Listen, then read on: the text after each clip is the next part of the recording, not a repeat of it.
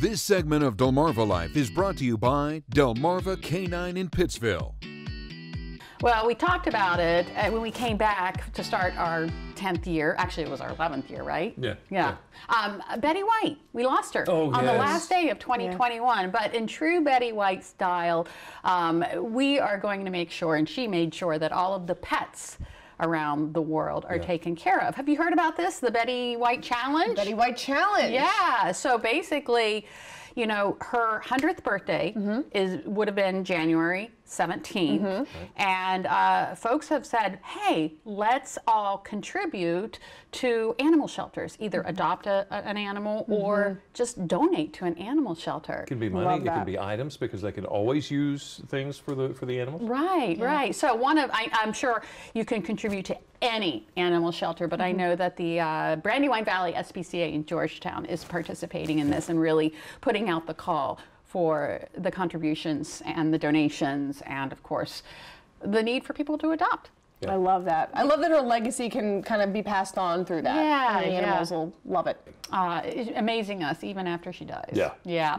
Well, uh, we, of course, love the animal shelters. That's why every Friday we have Pet Connect. And today, no exception, we begin at Worcester County Humane Society in Berlin. This is Isaac. Look at that sweet face. Uh, shelter workers say he is probably the friendliest and most outgoing cat you'll ever see. Isaac, seven months old and very playful. He's currently hanging out at the West OC Petco. And that is also where you'll find Fidget. Fidget is a two-year-old male. He's sweet and he's a playful young guy. And if those beautiful hypnotic green eyes don't get you, you need to look again. I'm pretty sure he's saying, "Take me to my forever home." To quote the shelter workers of the Humane Society of Wicomico County and Salisbury, Sailor Luna is arguably the smartest dog we have under our roof. Sailor Luna is a four-year-old female lab mix. In addition to being smart, uh, being very smart, she is a little shy with animals. Would do best in a home without cats or small animals. Sailor Luna needs a patient human, giving her a positive learning environment. Now, meet Kratos, Kratos, Kratos. What do we call him? On with Kratos. You're going to find this three-year-old pit bull terrier at Caroline County Humane Society in Ridgely. This handsome, smiley guy, I love that face, uh, has done well around cats and children, but would do best as the only pup in the house until he's more socialized. He walks well on a leash, bonus points, and loves to run and play. Kratos can be timid and shy upon meeting somebody for the first time. Oh, but he warms up in a hurry. Talbot Humane in Easton is where you'll find Buster Brown. Love that, Buster Brown. He is a six-month-old neutered male. Buster is going to need a lot, a home with a lot of patience.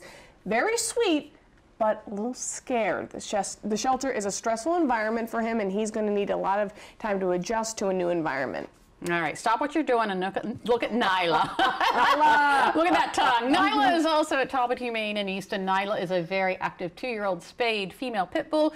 This girl loves long walks and to play hard. Yeah, I get that. Nyla does well with other dogs, but she has a high prey drive and should avoid uh, small animals. Shelter workers say Nyla would benefit from an experienced bully adopter who will get her into some training. Look at that! I bet you can't keep up with me. You know, we have had so many animals that we have featured on uh, uh, Right. on the Pet Connect. How many have we taken home? Well, are we keeping count? Because how many have you taken home? Only one. I can think of two off the top of my head. There you so, go. Yeah.